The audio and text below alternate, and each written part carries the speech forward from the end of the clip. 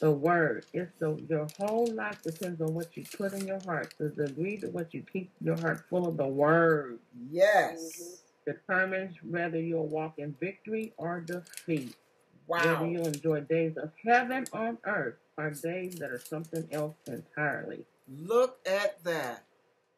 Look at that. And let me ask you guys a question. You take a grape. Thank you, Jeanette. I'm uh, I'm leaving this uh, with the message because there's a lot of proverbs today. You take a grape. You know you picked up a grape from the store. And you squeeze that grape. Now it's under pressure. You squeeze that grape and you hold a spoon under the, the grape that you're squeezing, and the juices drop into the spoon. What are you gonna get in that in that spoon from that grape? Somebody Thank answer you. me. What's gonna end up in that spoon? Seeds. Not seeds. What's gonna come in that spoon from squeezing the grape? Juice. Right. Juice. And what's the juice gonna taste like? Huh? Yeah. Right.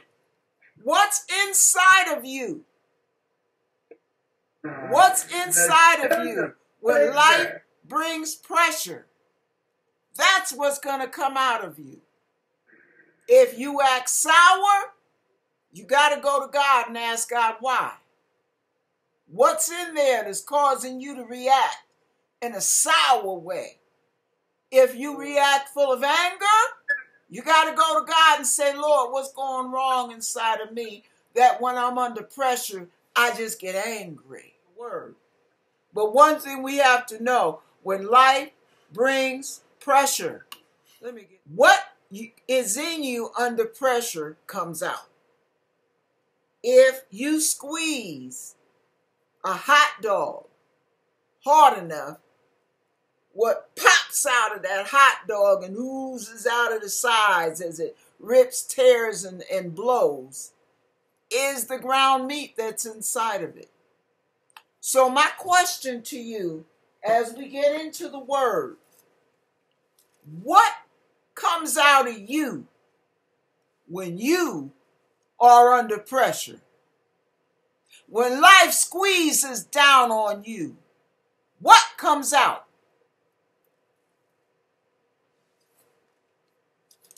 You ever eat bad food? As we go to Proverbs chapter 3, you ever eat bad fruit, food? And while you're eating the bad food, your stomach starts churning and burning and going through all kind of changes. Next thing you know, you got to take a quick run, a quick pit, pit stop. Right. And you want to hurry up and get up out of there too. Well, that's what happens in us. When life hits us in the wrong direction and it turns our stomach. Do you know that with the Holy Ghost, with the grace of God, with the holiness of God controlling you, and you using the power God gave you to use self control, do you know you can still be sweet under pressure? You can smell like a rose under pressure. Because what goes in must come out. Input, output. All right.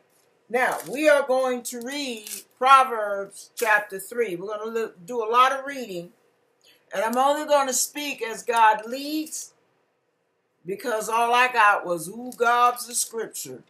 And I believe some of us, there are times when God loads me up with scripture because some of you may not have opened the Bible since last Saturday when we gathered last weekend. All right. My son, starting at verse 1. Forget not my law, but let thine heart keep my commandments for length of days. and long life and peace shall they add to thee. Let not mercy and truth forsake thee. Bind them about thy neck, write them upon the table of thine heart.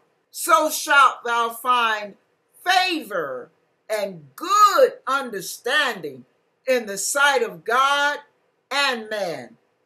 Verse 5 Trust in the Lord with all thine heart, and lean not unto thine own understanding. In all thy ways, not some, not a few, not most, in all thy ways, acknowledge him, and he shall direct thy path. Now, this is what I want to say real quick on that. Years ago, I like to give life examples. Years ago, my husband said something to me. Milton had a very strong, authoritative voice. His voice filled the whole room. Everybody knew when Brother Milton was in the room. And he would call me sometimes. I could see my friends getting annoyed when he called me. Why he gotta call her like that? Well, what they did not know when I had the church in Altadena, but I did because God gave me understanding, was there were times when He called me with the most demanding tone. That meant, Pat, I'm scared I'm going to have an accident out here in public. Get me to the bathroom, please. He wasn't demanding my services. He was scared. And when he was scared of being embarrassed, he sounded mean and demanding. But because God gave me understanding, I did not get angry with Milton and fuss at him for talking to me like that. Watch your tone when you call my name.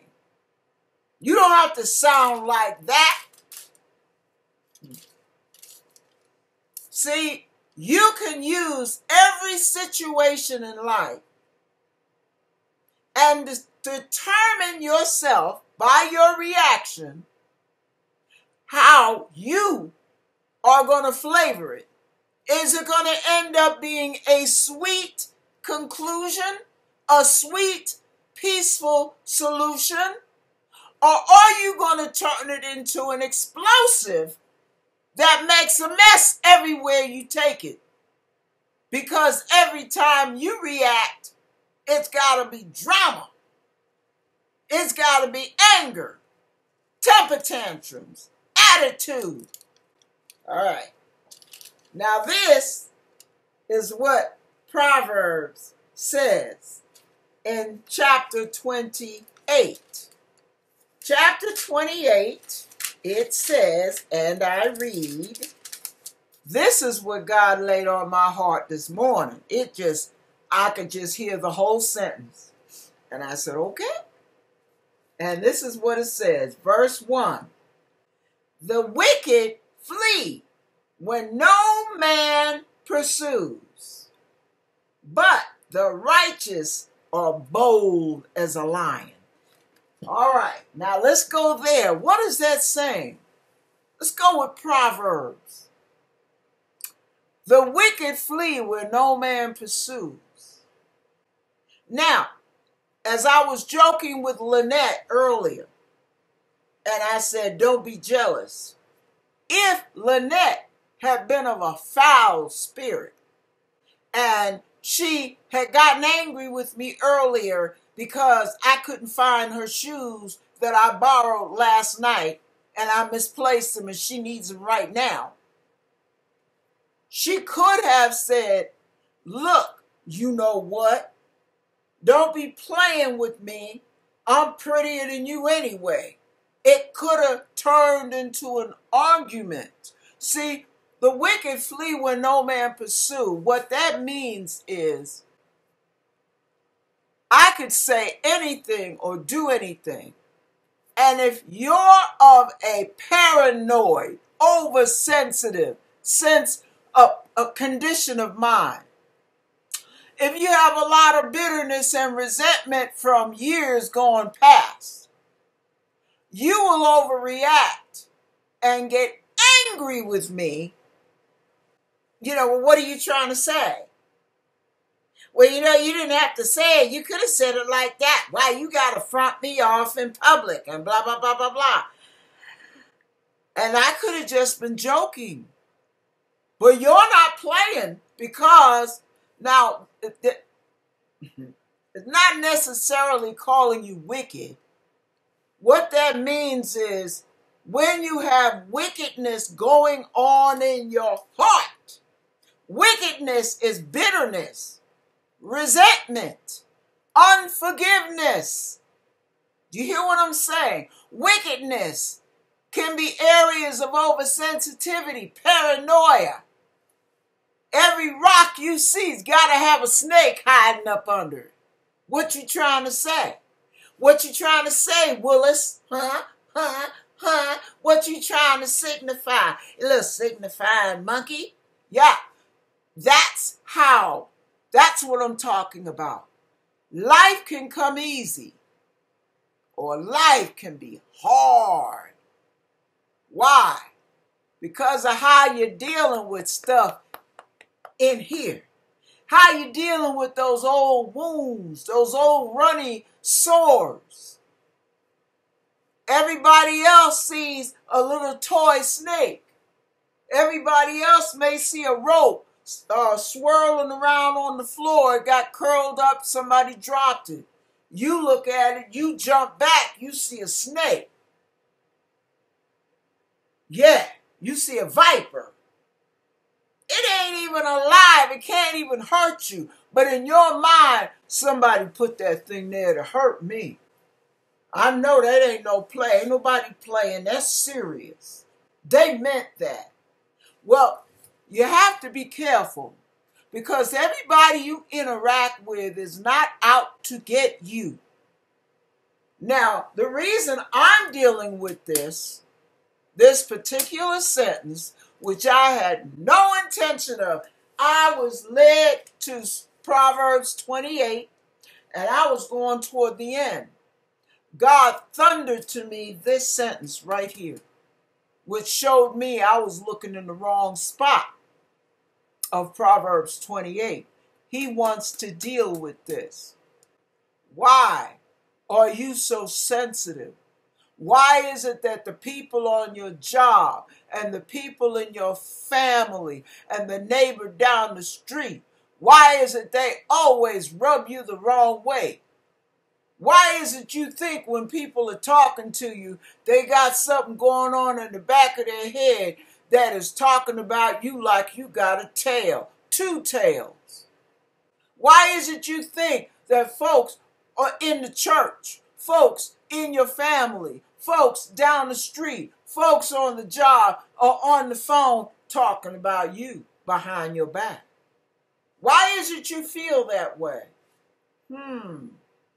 See, that's when you have to get in front of the mirror and do a reassessment. See, when when life brings pressure, see, like like Jeanette and I, we tease each other all the time. We laugh at each other. I know she's always laughing at me. We laugh at each other, we tease each other, but we like each other. We love each other. So there are no hurt feelings because I know Jeanette is not out to hurt me. She knows I am not out to hurt her. I can call her all kind of names that I wouldn't say in, in front of you guys. Mm-hmm. And she could call me all kind of goofy names that she wouldn't say in front of you guys. Well, we know where we're coming from. So listen, one time I was telling somebody just to share how those open runny wounds can really cause problems. I was telling somebody that I had preached at um, at one of the services back in in 2008, 2009. And I don't care who the preacher is, we are never 100% right on hearing from God. There are times we miss the mark by a mile, y'all, and we know it. We just try to work with what we think we got.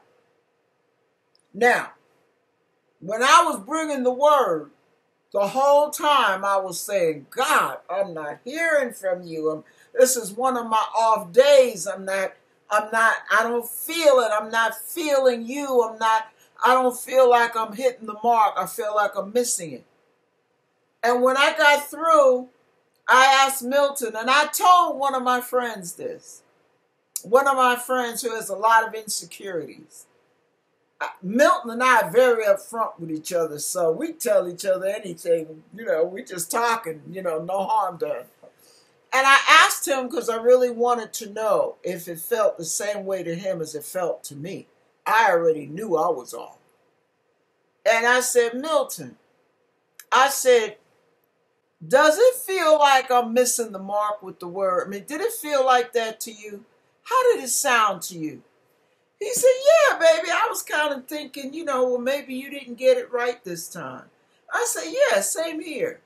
Now, most of the time when I would ask Milton if it sounded like it was on or off, he would tell me in a heartbeat, Oh, baby, you did a good job. I learned a lot from that today. So I got a lot of support from him. But he wouldn't say anything if I didn't ask anything. And that's how I could tell. So when I said that to my friend, you know what my friend's response was? Well, he didn't have to say it like that. Well, I mean, that didn't make you upset? No, he didn't. He wasn't doing me any harm. No, it's, it's like if he said, "How does this color look on me?" I said, "No, no, no. Put the green away. It does you no good. It makes you look pale." That's not an insult to him. I want him to look his best. He's good looking to me.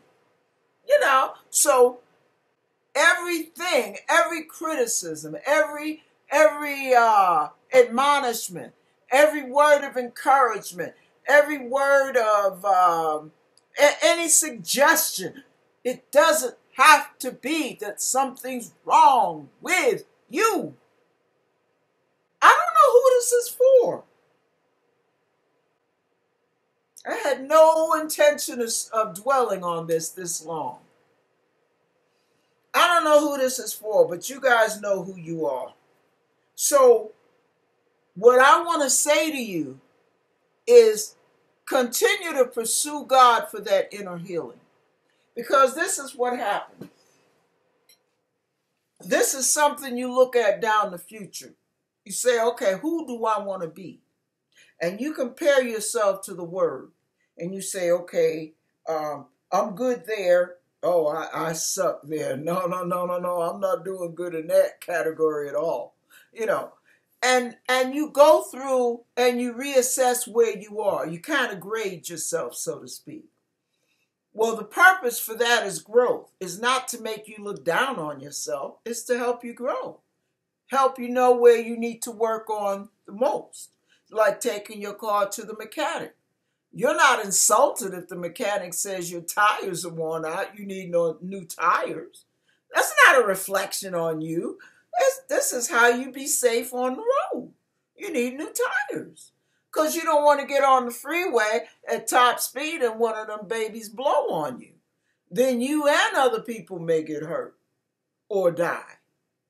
So it's a word for protection wow. okay. The bottom line is that's the same way we do with the word. We check ourselves comparing ourselves to the word of God. And if you really want to change, you'll work on it. Every time you feel that dander rising in the back of your collar, you feel that temperature rise and that hair stand up on end, and you feel the claws coming out from your nail. Yeah. Okay, Lord, Lord, Lord, Lord, you better call on God real quick. Because when you squeeze the grape, baby, you do not want poison coming out of that grape. getting all over everybody and everything. That's pressure. Life has pressure, y'all. It's what you do with that pressure that shows you what's in here. Now, all right. Woo! okay, let's get back to the word, y'all. Wow. So, when you're dealing with interpersonal relationships, I, I can't let it go yet. When you notice a husband and wife, whether it's the male or the female that's abusive, nine times out of ten, the one that's doing the slapping, the cussing, the disrespecting out in public is the most insecure. And what they end up doing is putting down their their uh, their mate, their husband, their wife. They put them down in public because they need to feel big. They feel small. So they make their significant other feel small. And that way they can rise above and feel like, okay, see, see, I got it together. See that? Yeah, see, I ain't no pushover. I ain't no body sucker. As Lynette says, you ain't gonna punk me. Will you no no no no no nobody's punking you, you're punking them. Why are you punking them? Because you're insecure and you're so afraid that you attack before the person even has a chance to think of attacking you. You attack them. And what you end up becoming is abusive. You end up becoming mean, bitter, hard to get along with. Nobody wants to tango with you because it always has to be an explosive moment of drama. So you can end up being the drama queen or the drama king. Gotta be careful about that kind of stuff. You can have life coming at you sweetly and have heaven on earth. Or you can end up being hell on wheels for everybody else around you. And it's determined on whether you're going to live in your flesh by the dictates of your flesh or are you going to live by the dictates of the Holy Ghost, by the Word of God, by the character of Jesus Christ Himself? Hmm. Choose you this day whom you will serve. As for me and my house, I am determined to serve the Lord. I may not do it perfectly, but every effort in me is leaning in that direction at every given moment. Now, not saying I never fail, but that's my aim every day, all day. All right. Woo! All right, here we go. Let's go to mm, mm, mm. Isaiah chapter 1. Yeah. Isaiah chapter 1. This is where God makes us take responsibility for our behavior. Isaiah chapter 1, starting at verse 11. Now, these are hard words, but it doesn't stay hard because he always invites people to come in a little closer. Come a little bit closer. Check this out. To what purpose is the multitude of your sacrifices unto me, saith the Lord? I am full. That means he's up to here. For some of you who don't get the King James, he's up to here. Fed up, baby. To what purpose is the multitude of your sacrifices unto me, saith the Lord? I am full of the burnt offerings of rams and the fed of fat beasts. And I delight not in the blood of bullocks or of lambs or of he goes. It's all your sacrifices for the Lord. When ye come to appear before me, who hath required this at your hand to tread my courts? It's like Lynette called me this morning and she said, I'm at the front door. Now, if I had opened the door with this, I would have been like, Who invited you to my house? That's what God is saying. Who invited you here? Who asked you to come? Who required this of you? So he says, mm, When you come to appear before me, who hath required this at your hand to tread my courts? Bring no more vain oblation. Incense is an abomination unto me. The new moons, the Sabbaths, the calling of assemblies, I cannot away with. It is iniquity, even the solemn meeting. Hmm. Your new moons and your appointed feasts, my soul hateth. They are a trouble unto me. I am weary to bear them. It's like I'm sick and tired of that mess. See, a lot of us, we come to church and we think we're sincere, and many of us are. But some of us, hate to use this word, Lord. Some of us don't realize what hypocrites we really are. I've been there. I know what it's like to have those hypocritical moments. We all have those moments from moment to moment. Sometimes we got to fake it until we make it.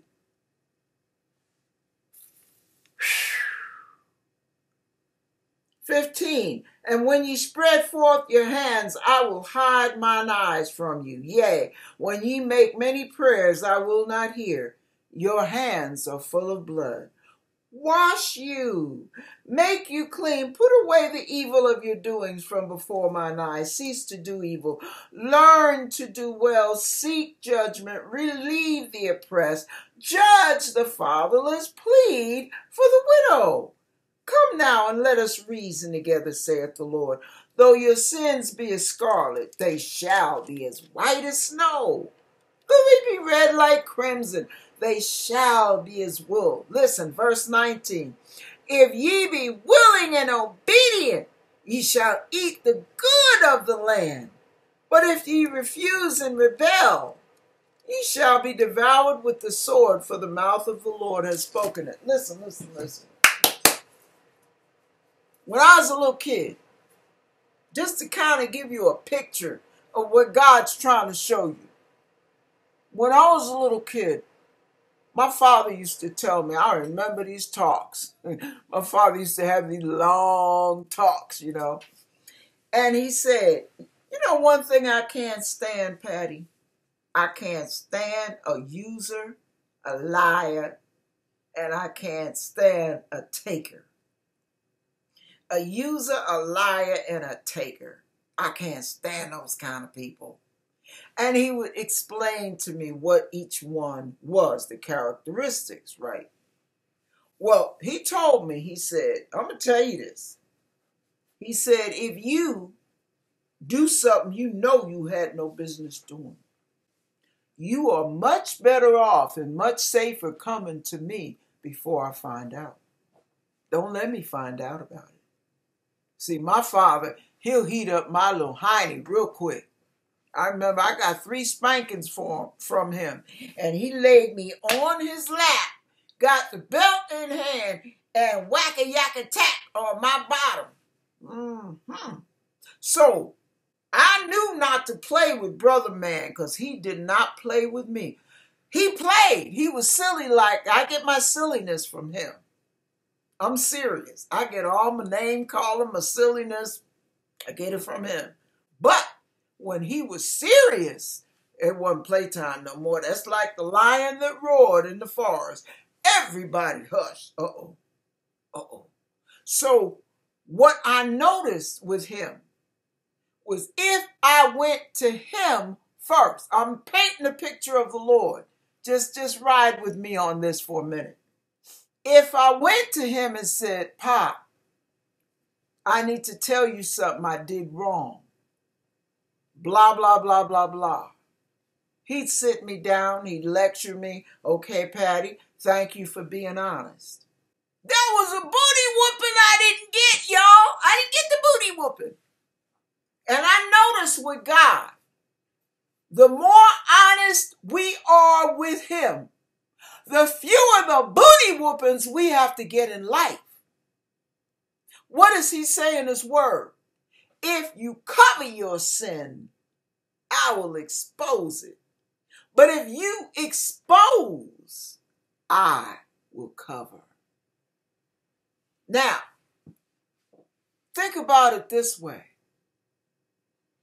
none of us are perfect. We all have shortcomings. Some of us deal with them on a daily basis. Some of us struggle with them and battle with them, but we're trying. And some of us turn a blind eye, a deaf ear, and we stick our head in the sand. God understands. I'm human. God knows my heart. We don't fear God. We don't care. We're saved, and that's all we need to worry about. Don't get in my business. Don't talk about my little fleshly weaknesses. Just leave me alone. Leave me be. I leave you be. I do me. You do you. And we don't want to hear words of correction. We don't want to hear how to polish up our act.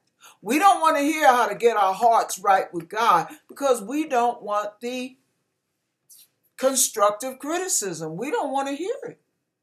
It doesn't come across as a loving admonition, it comes across as a put down, as a, a personal attack.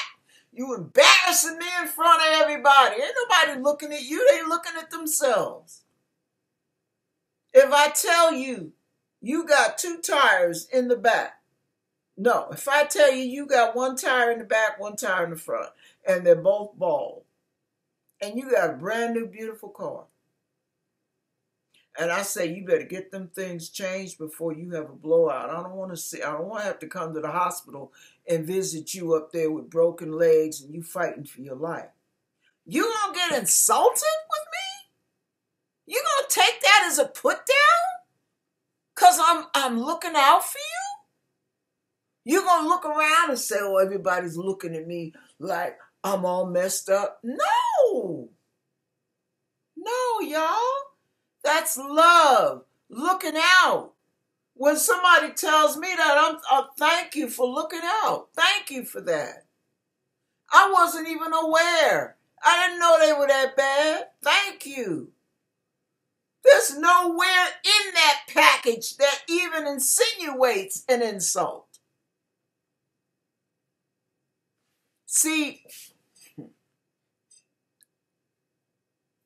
life can be a journey or even an adventure for some. Or for you that have those issues, life can be a constant battle. Constant battle. Everything's hard. Everything's dark. Everything is painful. Does it really have to be? Or is it the way you see it? When I used to drive for RTD years ago, it was Rapid Transit District. I drove the city bus. I liked it at first because I was good at driving that bus. I could maneuver that baby through the eye of a needle. I was good with my bus. But what I, started getting bitter about different things, the way the company ran things, the backing we didn't get, the, the you know, the the constant scrutiny and it was a lot of things I didn't like. And I started getting bitter about it. I was not saved, y'all, at all, when thinking about the Lord. And I remember sitting at the table every day crying, trying to eat my breakfast because I did not want to go. Now, I was getting paid well. The buses were in good condition. I was driving through, through you know, normal neighborhoods. wasn't anything dangerous about the neighborhoods. I was driving through downtown LA, Hollywood, Pasadena, different areas like that, Glendale, Burbank, Highland Park, Echo Park, all of that. I didn't have any real issues with anybody. I wasn't threatened. But I was the issue. So what ended up happening? And do you know right now, if I had kept that job for at least 10 to 15 years, I'd have a sweet retirement right now.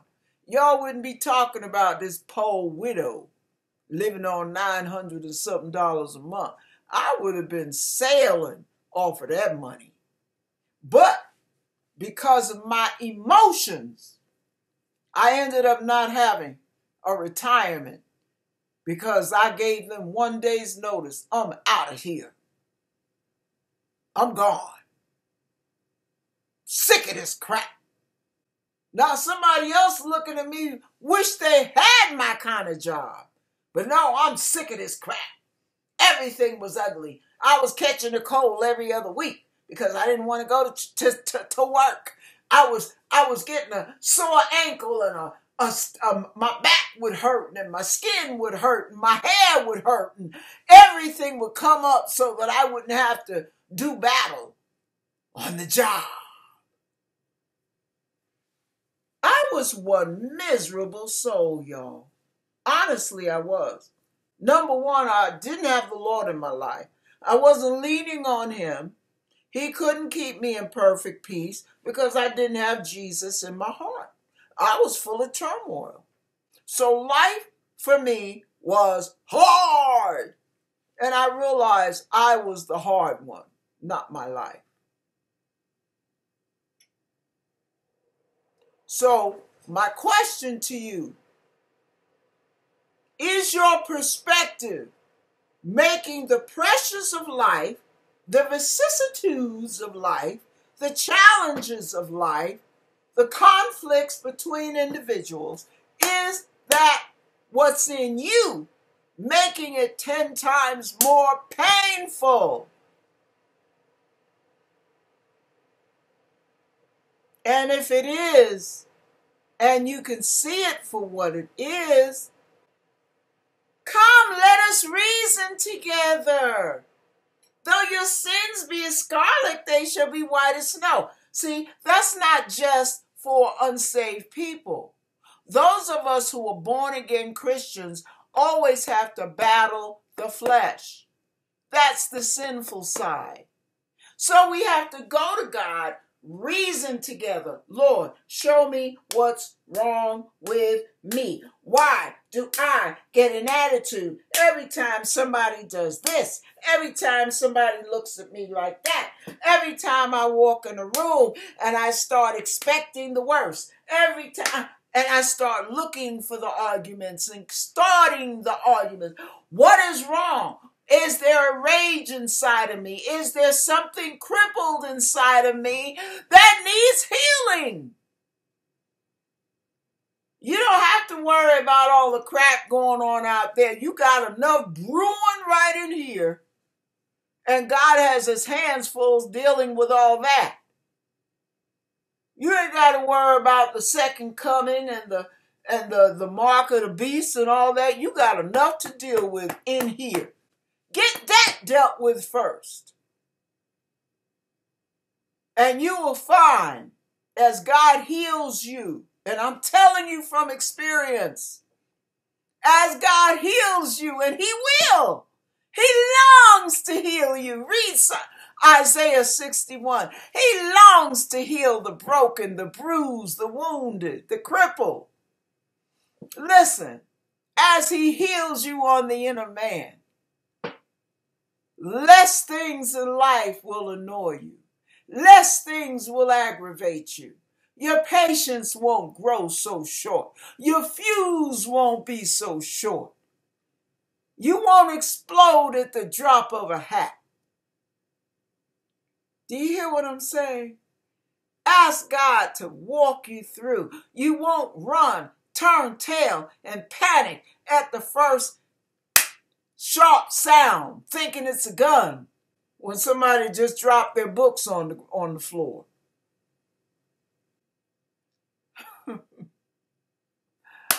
Ask God to heal that thing in you that turns a silk purse into a sow's ear, that turns a rope into a viper.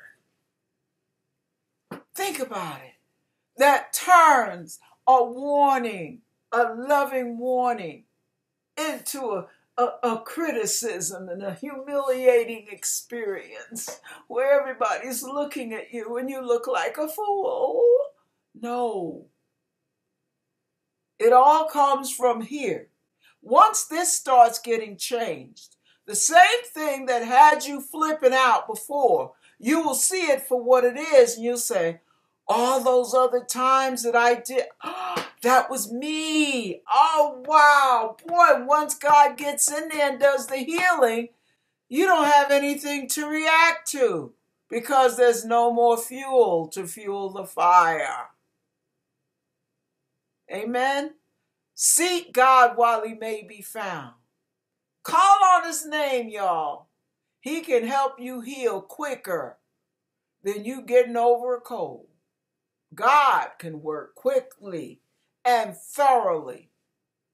But you gotta be on hot pursuit for that healing.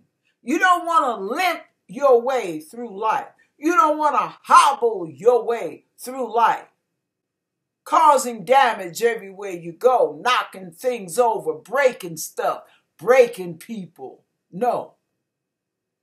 You don't want to become abusive trying not to be abused. The wicked flee where no man pursues. Don't be like that. Don't be that person. God can heal it. He understands it. But he loves you too much to leave you that way. And you got to trust him enough to take all that dirty stuff to the Lord. I was an emotional wreck. I was the emotional cripple, y'all. I was the ultimate. That's how I can say, I know what it's like to live crippled, and I know what it's like to live whole. I know what it's like to be tore up from the floor and I know what it's like for God to heal and deliver me and free me up. I'm telling you, it's a big difference. And it ain't what's going on out there, it's what's going on in here. Amen. Amen. God will make you fit for the battle. And the battle won't feel like a war all the time. Sometimes the battle will feel like a picnic because He will keep you in perfect peace if you keep your mind stayed on Him. God bless you. Be encouraged, Joe.